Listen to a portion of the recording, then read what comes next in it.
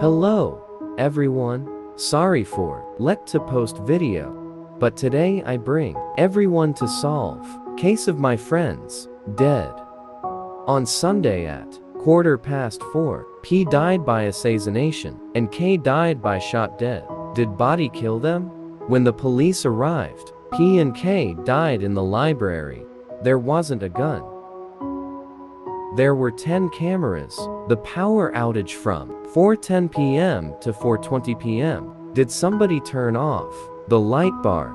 The handle of the library were fingerprint me, V, the butler, and all my friends. There were 12 people. V, B, P, K, S, R, M, S, Y, A, H, and T. H and T play football outside. P read the book, and K play computer in library. A and Y work in kitchen. S and R cleaned in dining room. V and B talking at bedroom. M and S watch TV in the living room and S sleeping.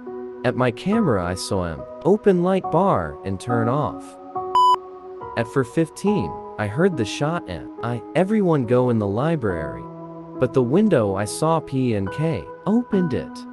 So who can find murder for me? If you find it, you tell me.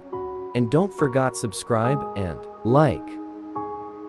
So goodbye everyone.